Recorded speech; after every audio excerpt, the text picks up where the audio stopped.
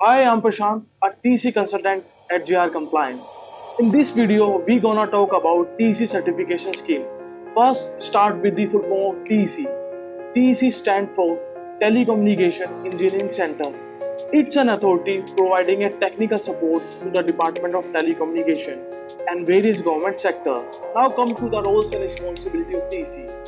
The major role of TEC are first, formation of technical standards for the telecommunication sector. Second, development of a global network of telecom. Third, smoother the interconnection of telecom. Last and fourth, testing and certification of telecom products. Well, it is to be noted that TEC is a mandatory requirement to enter Indian market. TEC has two certification schemes. First, MTCTE that is mandatory testing and certification of telecom product. Second, voluntary certification scheme. MTCTE is based on Indian Telegraph Act 2017. It ensured that every telecom equipment must undergo the testing and certification before it sell and import in India. On the other hand, voluntary certification scheme is conducted depending on its product and interface. However, in this video, we will only talk about MTCTE certification scheme.